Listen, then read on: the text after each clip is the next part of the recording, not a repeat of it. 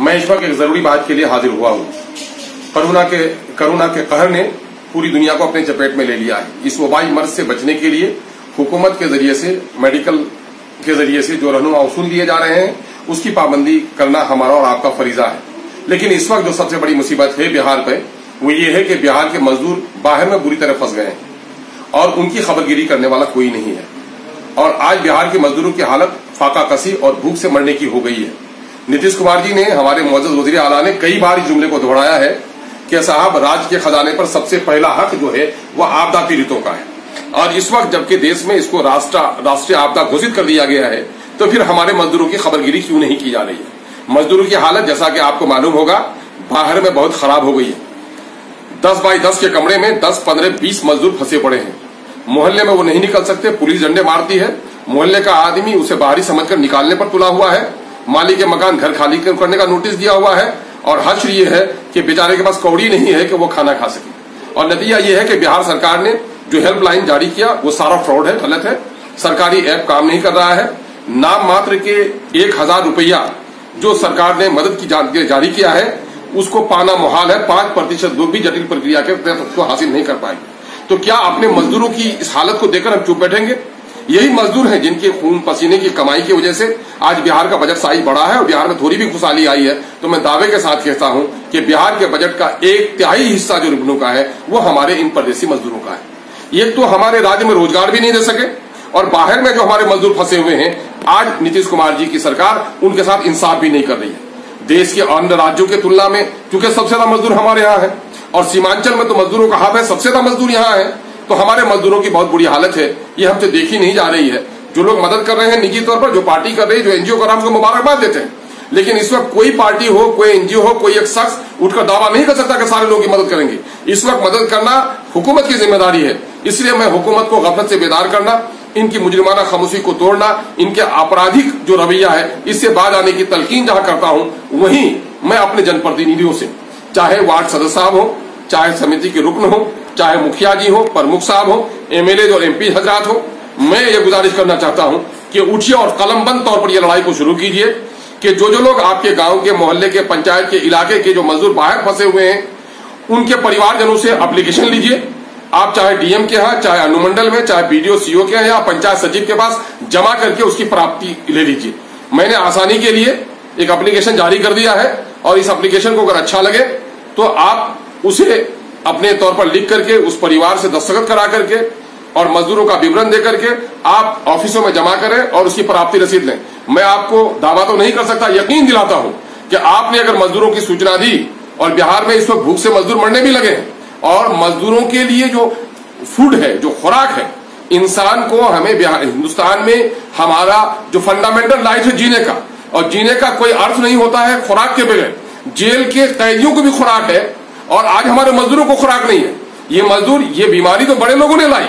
ये बीमारी हवाई जहाज़ से आई है, फुटपाथ के लोग मारे जा रहे हैं।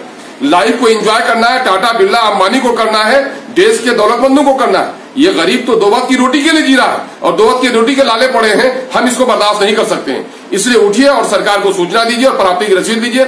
ये आवेदन है, मैं पढ़ के सुना रहा हूँ, अगर मुनासिब हो तो आप अपने तौर पर लिखें या इसको बेहतर समझते हो तो आप लिख करके ऑफिसों में दें और उसकी प्राप्ति रसीद ज़रूर लें। सेवा में माननीय मुख्यमंत्री महोदय, बिहार, पटना, विषय प्रवासी मजदूरों की पीड़ा के संबंध में, द्वारा DM oblique SDO, oblique BDO, oblique CO, oblique panchayat सचिव, जिसको आप एप्लीकेशन दें, उसके नाम, सामने में टिक लगा दें। और उसके दफ्तर का, जिला अनुमंडल प्रखंड पंचायत, जिस दफ्तर में दे, उसका दफ्तर का पता लिख दें। पंचायत दे रहे तो पंचायत का नाम लिख करके अंडर ब्रैकेट अपने जिला का नाम लिख दें। माँ से हमारे परिवार के तरफ़ से दे रहे तो परिवार का लिखिए, या गाँव की तरफ़ से देख रहे हैं तो गाँव का, या पंचायत की तरफ़ से दे रहे तो पंचायत का। हमारे गाँव पंचायत के जो मजदूर रोज़गार के लिए देश के अन्य राज्यों में कार्यरत थे, कोरोना लॉकडाउन के कारण इनका रोज़गार बंद हो गया है। अब वो प्रदेश में भूखमरी के शिकार हैं। छोटे छोटे कमरे में 10-20 लोग बंद पड़े हैं। बाहर निकलने से इन्हें पुलिस डंडे मारती है।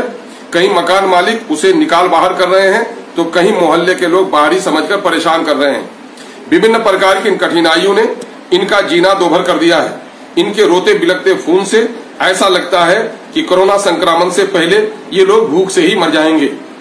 खेल का विषय है माननीय मुख्यमंत्री जी, कि आपने अपने राज्य में हमें रोज़गार का मौका भी नहीं दिया और आपदा की इस घड़ी में अब तक राशन पानी की कोई व्यवस्था भी आपके तरफ़ से नहीं हो पा रही है। देश के अन्य राज्यों की तुलना में सबसे अधिक मजदूर चूँकि बिहार से हैं, इसलिए आपको इस संबंध में अपनी सहानुभूति पूर्वक प्रयास करनी चाहिए थी, जो अब तक नहीं हो सका है।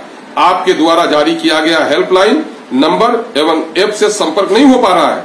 साथ ही जटिल प्रक्रिया के कारण आपके द्वारा प्रचालित प्रचारित सहायता राशि मात्र एक हज़ार रूपया से पाँच प्रतिशत पीड़ित भी लाभान्वित नहीं हो पा रहे अतः आपसे अनुरोध है, आपसे गुजारिश है कि अविलंब इन प्रवासी मजदूरों के राशन पानी की व्यवस्था की जाए। और यदि सरकार से ये संभव नहीं हो सके तो उन मजदूरों को फिर अपने अपने घरों में पहुँचाने की का प्रबंध किया जाए। यदि समय रहते, आपके द्वारा इस संबंध में उचित कदम नहीं उठाया गया तो हम सरकारी दफ्तरों में जाकर धरना प्रदर्शन करने पर बात होंगे। विश्वासी या भौदीय या आवेदक का नाम लिखकर अपना नाम पता, अपना मोबाइल नंबर लिख दीजिए, और एक फॉर्मेट ये भी है जिसमें आप अपने मजदूरों का विवरण लिख दीजिए। ये दोनों ये एप्लीकेशन भी है और ये मजदूरों की विवरणी का फॉर्मेट भी है। आप इसे वो कर सकते हैं थोड़ी सी मेहनत कीजिए। मैं घर के लोगों को, परिवार के, मोहल्ले के लोगों को कहूँगा कि मेरे भाइयों, इन परदेशी नौजवानों का बड़ा कर्ज हम पर है। ये अगर बाहर नहीं निकलते तो सीमांचल में इंसान इंसान का गोश्त नोच लेता। आज जो सुकून आप मुयसर कर रहे हैं, इन परदेशी नौजवानों की कुर्बानी की वजह से कर रहे हैं। इसलिए इनकी मदद के लिए उठिए एप्लीकेशन लिखिए। मैं एमआईएम के अपने कारकुनों से भी, अपने जिम्मेदार पदाधिकारियों से भी गुजारिश करता हूँ कि आप उठिए और अपनी ज़िम्मेदारी का निर्वहन कीजिए। मुकामी सतह पर जो लोग भूखे प्यासे हैं, उनकी मदद करना हमारा फरीजा है, पड़ोसी का सबसे पहला हक है, वो भी हम काम करें। लेकिन ये लड़ाई लड़ना हमारे लिए बहुत ज़रूरी है, इसलिए कि प्रदेश में हमारे मजदूरों की हालत बहुत खराब है। जहाँ तक मुमकिन हो पा रहा है, हम लोग थोड़ी बहुत ताल्लुकात की बुनियाद पर मदद कर पा रहे हैं, लेकिन ज़ाहिर है एक बड़ा सिलसिला है। चाहते हुए भी हम उसकी मदद के लायक नहीं है, लेकिन हमारे जिम्मे जो फरीजा है, हम उसे अदा करना चाहते हैं। यकीन जानो मेरे दोस्तों और बुज़ुर्गों, खुदा उसी की मदद करता है, जो अपनी मदद आप करता है। ईश्वर उस शख्स की सहायता नहीं करता जो अपनी सहायता के लिए कदम नहीं बढ़ाता है।